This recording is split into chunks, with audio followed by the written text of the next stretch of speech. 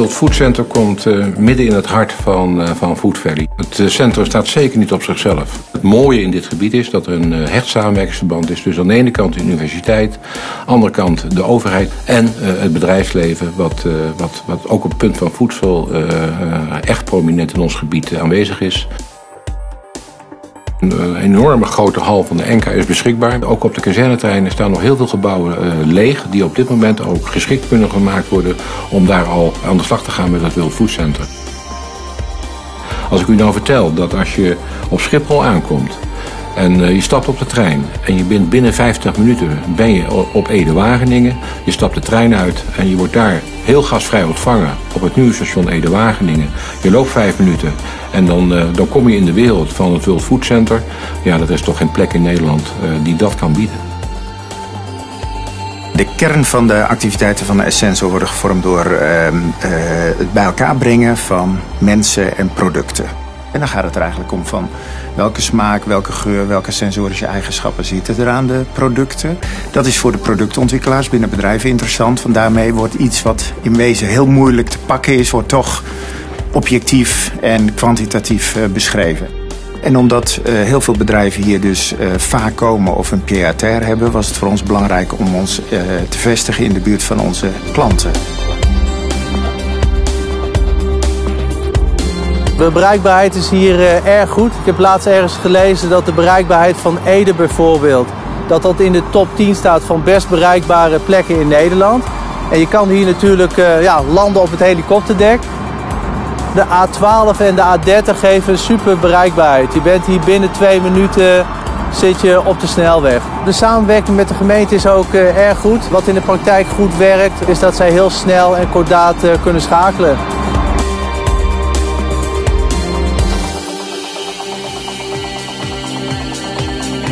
Het Krullenmullenmuseum is een museum wat volgend jaar 75 jaar bestaat. Wij hebben uh, jaarlijks ruim 300.000 uh, bezoekers... die natuurlijk voor de Van Gogh-collectie naar dit museum komen.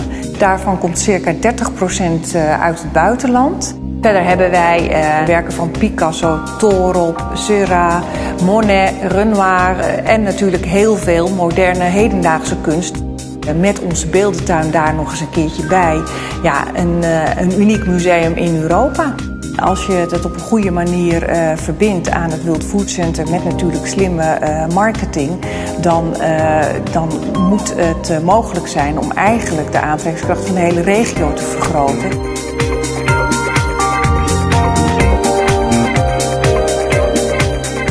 We zitten hier in een restaurant van de toekomst. Dat is het restaurant waar wij analyseren hoe mensen keuzes maken. Keuzes maken over hun eetgedrag. En dat lijkt vrij triviaal, maar dat is uitermate belangrijk. Hoe kunnen we dat eten gezonder maken? Hoe kunnen we bijvoorbeeld uh, moorkoppen maken met minder calorieën, maar die toch lekker smaken? Dat soort type werk, dat doen we hier. En dat is gewoon uitermate belangrijk.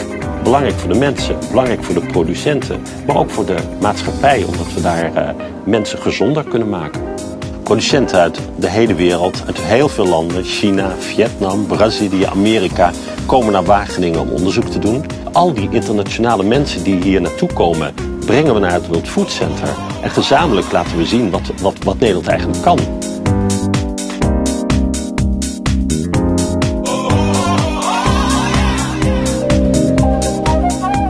Hier in het forumgebouw in de bibliotheek. Het feit dat we hier uh, zo'n centrum hebben, uh, trekt natuurlijk van alles aan. Niet alleen toponderzoekers, maar ook bedrijven die wat met die kennis willen doen. Uh, en dat is ook een van de redenen waarom er een topinstituut Food and Nutrition is ontstaan hier in Wageningen. Die Europese Foodkick is een heel groot iets met een investering van orde miljard. waar binnen Europa iets op een goede georganiseerde manier moet gebeuren omtrent het verder uh, voortzetten van uh, voedsel, agro-food research. Dus dat, dat World Food Centrum, dat is eigenlijk iets wat hier heel mooi aanpast. en waar we hier een omgeving voor hebben om dat voeding te geven.